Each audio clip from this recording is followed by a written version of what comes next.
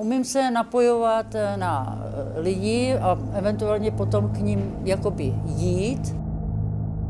Hlava, břicho, noha.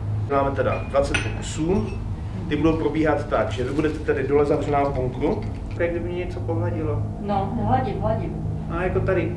Jako výjdu z toho těla, že jo, jdu tu, jdu tu trasu. A můžeme byl zasnout světlo, aby mě to neproblikávalo. Dva. Noha. Ta energie jde úplně nahoru. Konec experimentu. A proklínal se maminku teda celou Já dobu, jo? jau, co to je, ty? A není to divný? Nemělo ne, to, ne, ne. nemělo to dopadnout tak šestkrát, sedmkrát?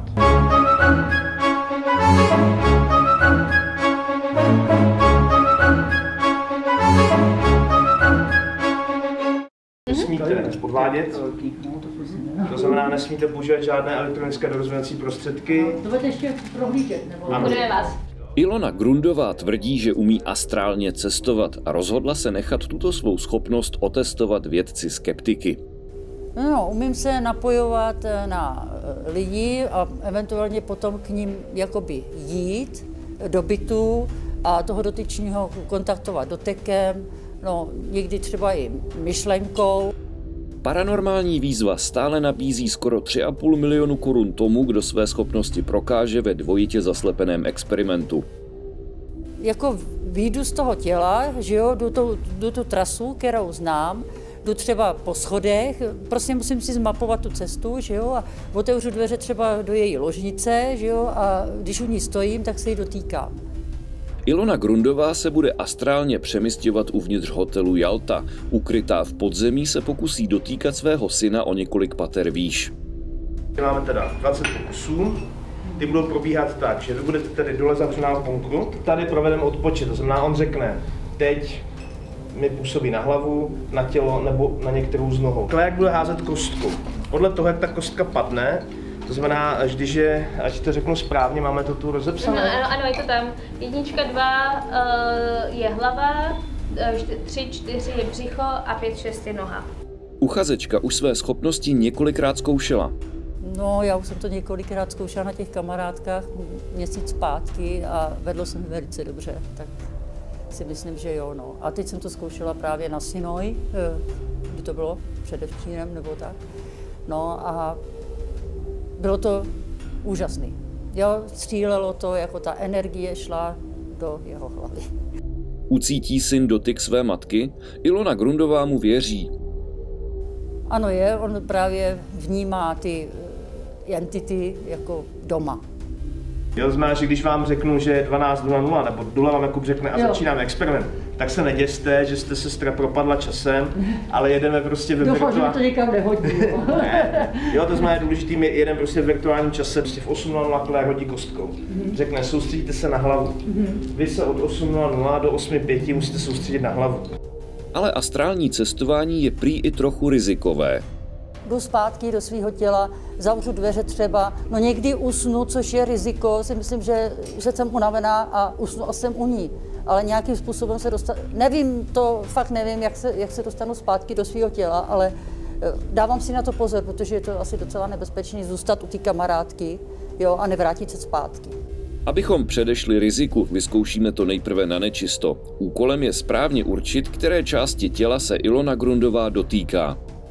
Hlava, břicho, noha. Zkuste to jakoby nejde na je to jenom, aby vy jste se sladili nějakým Tak já zkusím zavřít ty oči a... No, zkus to. Tak kdyby mě něco pohladilo. No, hladím, hladím. No jako tady. Tady přesně. Tady takhle jakoby, tak Počkej ještě.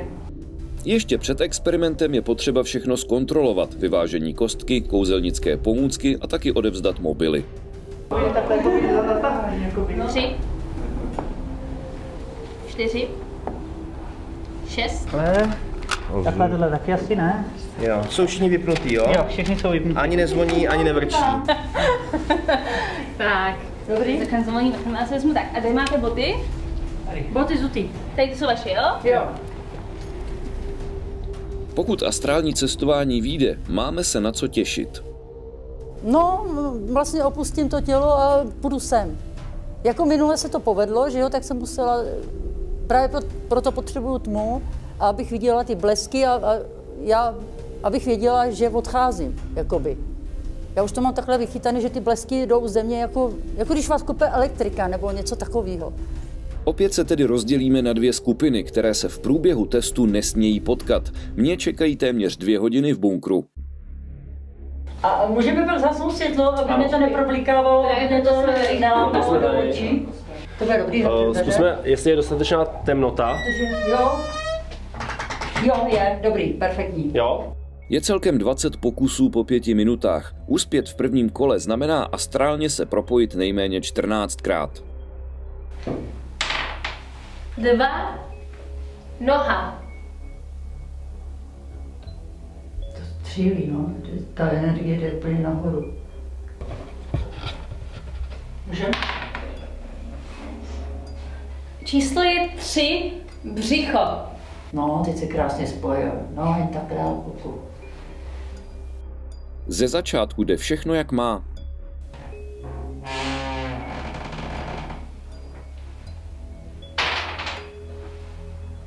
Číslo dvě, noha. A běží to teda jak má. Běží, běží, běží. Už se přidalo i to teplo na zádech, jako, jako ta energie, že už, jako, že už to pouštím i zádama. Nejenom rukama, ale už to jede i zádama. Na okamžik se dokonce já na prosté dřevo stávám součástí experimentu. Já vás můžu poprosit, můžete si sáhnout tady, chcete? Si sám. Náš konečky prstů. Jste tam? Ne, ne, ne, takhle, takhle, tady, vejš. Tady, levá, levá ruka. Jako bych měl cítit jako teplo, jo. No, energie, střílení. Cítíte? Ne, nevím. Jsem si tím jistý. Pan Mareš má vybudovanou imunitu. Cítíte něco?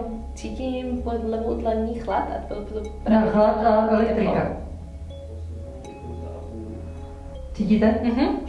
Výborně, děkuju. Tak dokonce i prezidentka Evropského skeptického hnutí je lepší médium než já.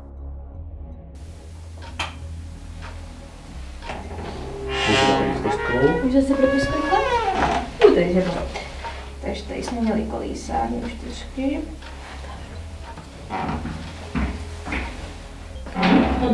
Uh, ano, a se tři břicho. Pořád se to tři na břicho. Jo. Paní Grunová říká, že je syn unavený, že možná bude potřeba. Padá to, padá to. Potíže se ale nakonec podaří překlenout. Jo. Konečně hlava 6. To si ti vychutnám, chlapče, počkej. Konec experimentu. No, tak jsem.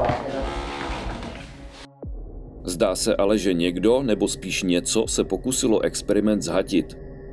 Můžeme napsat poznámku, že Ty poslední... uh, od pokusu 14 byl přítomný, byl přítomný duch.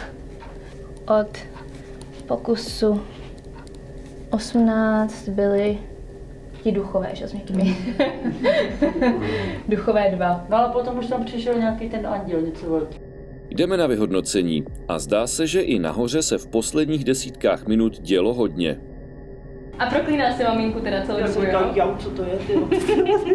To Tady se nedalo dělat. něco tady bylo, protože prostě kolem mě- Energie mě to bralo, Kolem mě jo. tady, kolem mě tady, jak jsem si... přišel duch a při 18 se k němu připojil druhý.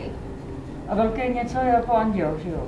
Přichází chvíle, na kterou jsme zvědaví úplně všichni. Budete dělat, pokud uh, to je dobře zhoda, tak uděláte fajfčičku, pokud neuděláte kříže.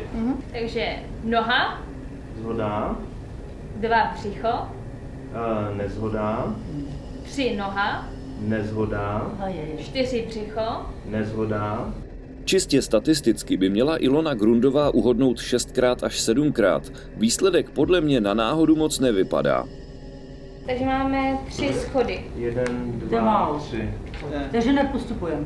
Ne, Ne. ne. A není to divný? Nemělo to, Ne, ne, ne. nemělo to dopadnout tak šestkrát, sedmkrát? Jako to je průměr, to znamená, jakoby to je to, co je nejočekávanější výsledek, ale cokoliv, jako v podstatě mezi, jako do těch 14 je cokoliv vlastně jako relevantní výsledek. Takže téměř 3,5 milionu korun stále leží u skeptiků. Pokud máte paranormální schopnost, můžete o ně skeptiky směle obrat.